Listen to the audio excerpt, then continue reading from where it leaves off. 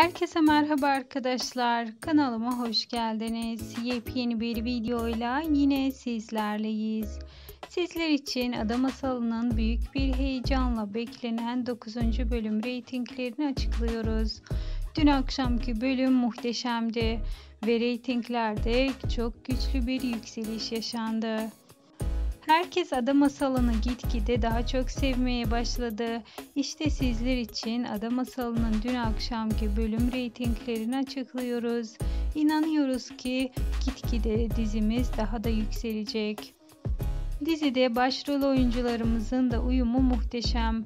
Herkes Alp Navruz ve Ayça Ayşin Turan'ın uyumunu çok beğeniyor. Şimdilik ise benden bu kadar arkadaşlar. Bir sonraki videolarımızda görüşmek üzere. Hoşçakalın.